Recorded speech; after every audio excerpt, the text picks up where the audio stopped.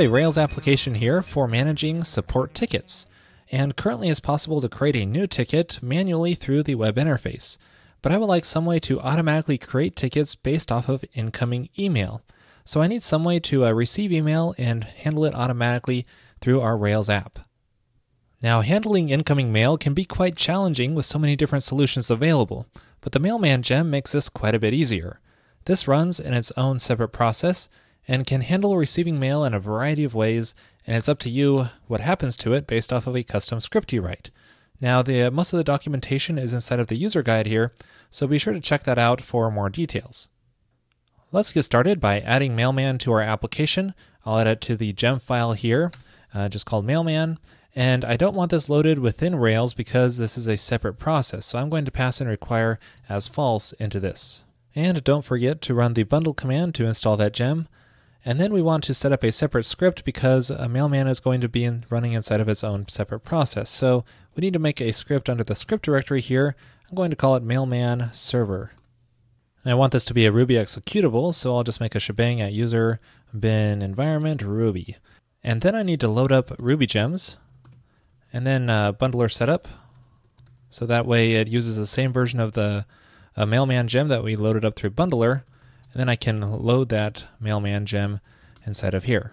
And for now, I'm just going to print out hello world just to make sure this is working. And then I need to make that script executable with chmod. It's under the mailman server script. Then I can run it directly like that.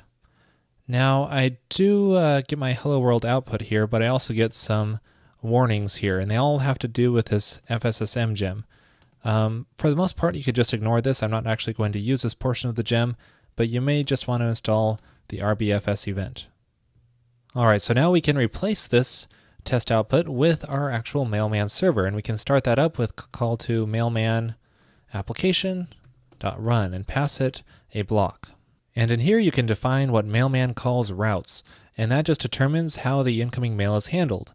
Now you can use a default route like this, and that way this block will be called for every incoming mail. Now in here we have access to the message object, which is a instance of mail message. So you may want to check the documentation of that. It's in the mail gem, so you can see exactly what you can call on a message. So uh, what, what we can do here is let's just say received the um, message subject here. Now, Mailman can receive mail in three different ways, as shown in this user guide here. A standard input is uh, great for testing. You could just pass in an email message right into the server. Um, POP3 is what I'm going to be using later on because it's one of the easiest ways to set it up, especially through a Gmail account. And there's also Maildir, which I'll uh, explain a little bit more later on as well. First, I'm going to test this using the standard input approach. As you can see, I have a test email file already set up here, just a very simple formatted email with the subject of mailman test. So let's try passing that mailman test file into the uh, mailman server directly like that. So now it starts up mailman and the output I get is received mailman test. So that's working. Now, Mailman will detect that we're in a Rails application and automatically start up the environment so we have access to all of our models in here as well. So this means we can create a new ticket here. And I want the uh, subject attribute to be set to the message subject. And then we have a body attribute as well, which will be the message body dot decoded. And then finally, there's the from attribute, which I'm going to set to the message from, which is uh, multiple addresses, uh, the first one in there. So now I'll run that test again by passing in that email file. And now it looks like it got the message, but it didn't print out anything because it actually created a new ticket. And going to our support tickets app, you can see we now have a ticket record here. This is the subject right here, the from address, and the body all looks correct. Next, let's see how we can use routes to process the message in different ways. You can see here that there are a variety of routing methods that are supported. You can set the uh, to and subject and from attributes to uh, match a specific filter, and that way it will only call that block if that given message matches that condition. And you can also pass in variables in here that get passed in through the block. We could apply this to our ticketing application. Uh, let's say we want to update tickets instead of always creating them through incoming email. We might make a uh, route here that says to match the subject if it matches update for a given uh, number, and then pass that number in as a ticket ID. And then we can update, actually ticket.update, pass in our ticket ID, and pass in, let's say, the body, and set that to the message body decoded again.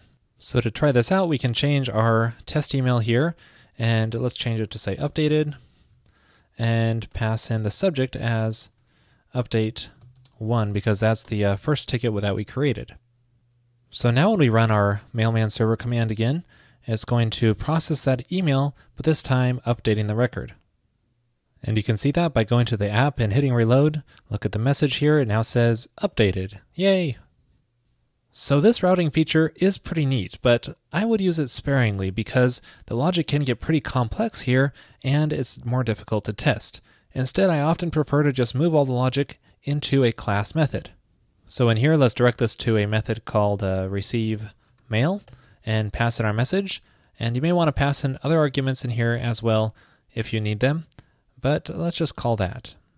So now inside of the ticket class, we need to uh, define that receive mail method that accepts a message. And in here, we're doing pretty much the same logic, so I'm just going to paste this code in. The first thing I do is try to find a ticket ID which matches that update subject like we did before. And if it's present, it's going to update the ticket with that body. Otherwise, it's going to create the ticket like we did before. And then testing this behavior becomes very easy. You just pass in any mail message instance to this, and then check out the behavior as what you expect. Now that we have the main functionality working, I'm going to move on to setting up a real receiver. You can either use POP3 or Maildir. I'm going to use POP3 here. I already have a Gmail account all set up for this, and it's very easy to configure. Just pass in this POP3 configuration like this, and you can also specify a polling. Uh, right now it's going to default to 60 seconds. So back inside of the Mailman server script, I'll just paste in some configuration for that POP3 setting. And I'm going to use environment variables here for the username and password, just so it's convenient for me to set it off camera.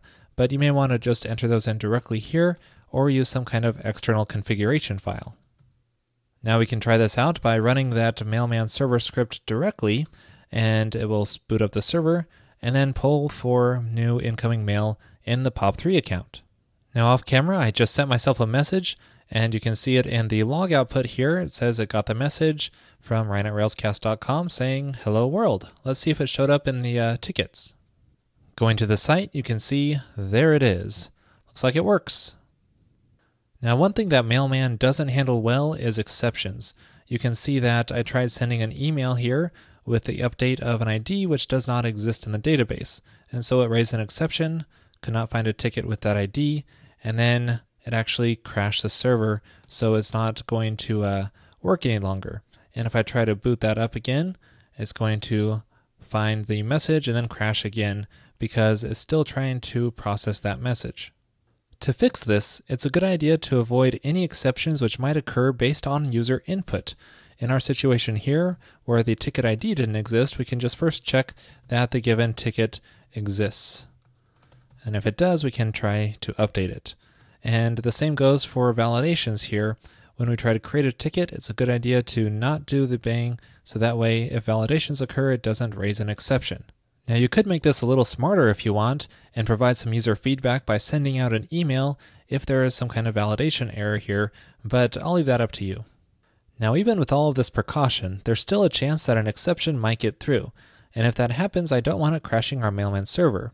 So what I can do is go inside of the default block in the server script and add a rescue clause here that looks something like this. So it still does the receive mail call, but if there's an exception that takes place, it will log that exception, actually log the full email message here so it has a backup copy that we can use if we need to rerun it, and then log the full exception there with the backtrace. So now when we start up our mailman server script again, it's not going to raise an exception anymore because it's going to uh, properly handle it this time. Um, but if it did raise an exception, it would catch it, properly log it, and then keep on going without crashing. Now, before using this in production, it's a good idea to specify a logger. So, what we can do instead of this mailman server script is call mailman.config.logger and set it to logger.new and pass in the path such as log slash mailman.log. and that way it'll log to that specific file instead of just going to S standard out. By the way, it's important that this script be run from inside of the Rails app directory because it uses some relative paths. There are some changes you can make to make it work in any directory, but normally that's not an issue. Now, there may be some reasons you don't want to use the POP3 receiver. There is a definite polling delay, and uh, the maildir option is really great, especially if you're running your own mail server. You could just point it to a maildir uh, path using this config option, and it will do the rest automatically. Now, um, alternatively, if you want to use IMAP, you can use the getMail utility, like it mentions here, uh, in combination with maildir. Also, keep in mind that this mailman script will load the Rails application, which may run into some memory issues if you have a large app or maybe a small server. Um, this is convenient because you can access your models directly in here, but you may want to look for alternatives if you uh, don't want that memory taken up. Now you can disable the Rails loading by passing an empty string to the uh, Rails root config option. Uh, it says here you can pass in nil, but there's actually a bug involved in that. Um, if you do this, you'll probably want to use NetHTTP or something to submit a post request with the message data inside of it so that Rails can process it. Now, if you're that concerned about memory, you may want to bypass Mailman entirely and just use the Mail gem directly. It has some features for receiving email over POP. You can just pass in some options like it shows here, and then just fetch all the mail and just do this inside of a loop or something. Well, that's it for this episode on receiving mail through Mailman. Hope you found it useful.